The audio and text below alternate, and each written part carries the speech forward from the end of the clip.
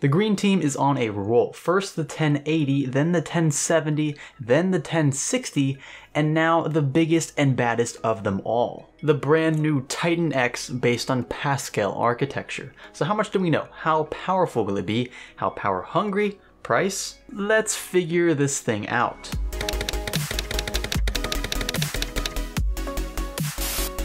Let's start off first with the design. The new Titan X is sporting a similar build to that of the 1080 with a few minor changes including a darker brush, however staying consistent to the edgy metallic theme of its younger siblings. While there aren't many pictures yet to confirm this, we can expect that the Titan X will also include a matching backplate. Now let's jump into the specs. Right off the bat, 3,584 CUDA cores. Absolutely insane considering the 1080 already proved itself by crushing the current competition with its 2,560 CUDA cores. Remember, these aren't scalable across generations, so that the Maxwell Titan X packed 3,072 CUDA cores into its GPU, but fell short of the 1080, which had fewer. NVIDIA's 16nm Pascal design proves its worth here, greater efficiency and performance with less under the hood. The Pascal Titan X will boast an equivalent amount of VRAM to that of its predecessor, a whopping 12 GB gigabytes in total, although this time around that 12 will be enhanced with GDDR5X, accelerating memory speeds to 10 gigabits per second,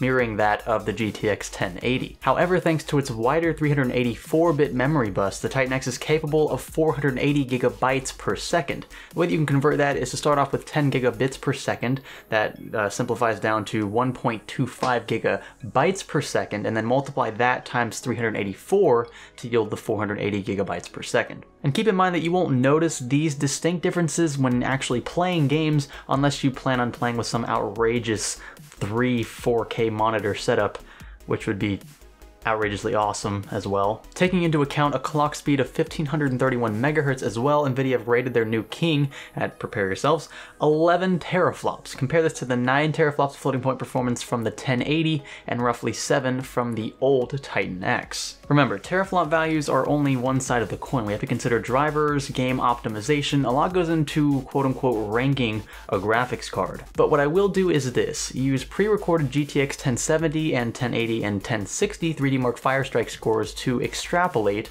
a fancy statistics term there, Pascal Titan X performance. The GTX 1070 received a 3D Mark Firestrike 1.1 score of 16,089 when paired with an i7-6700K overclocked to 4.6 GHz and 16 GB of 3000 MHz RAM.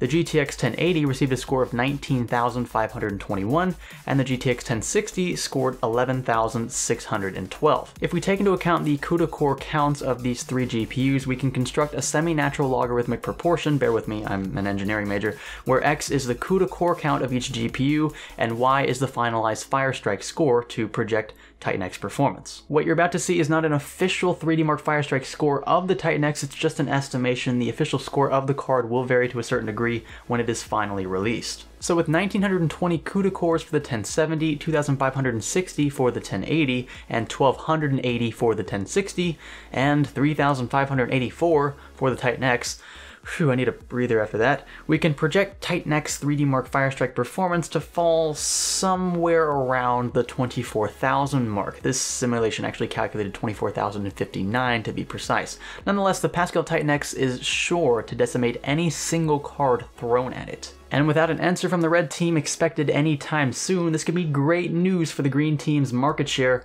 although I'm not sure many of you are going to be able to afford this card, let alone desire it given the price tag that you're about to see. Now a card this powerful will require power. It packs a thermal design power rating of 250 watts, a splitting image of its former self. Keep in mind that TDP is not the same thing as total power draw, so under full load this card will actually draw more than 250 watts from a power supply. TDP is just a an estimation for how much power in the form of heat the card will dissipate while under full load.